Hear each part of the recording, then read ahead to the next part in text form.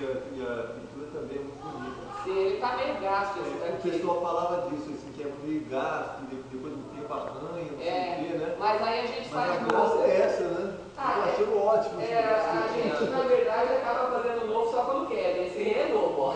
Olha como ele tá bonitão.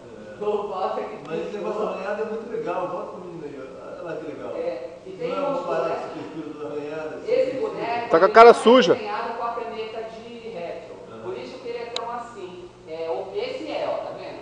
Aham. E esse não. Daqui eu percebi que uma coisa que me irritava muito é essa transparência da caneta, tá vendo? Então eu peguei é, tinta de. como que fala? É, Vitral? Não, é esmalte, esmalte sintético fosco, para pintar portão mesmo. Aí eu peguei um pincel, e como é a base de thinner, quando você pinta, eu pensei quando eu pintei assim, que eu ia fazer assim com o boneco e ia soltar toda a tinta. Mas como é a base de, de thinner, ele, ele come um pouco do PVC. Então ele finca, entendeu? Tipo uma tatuagem no Em relevo. PVC. E aí é muito mais definido o desenho, né? Ó.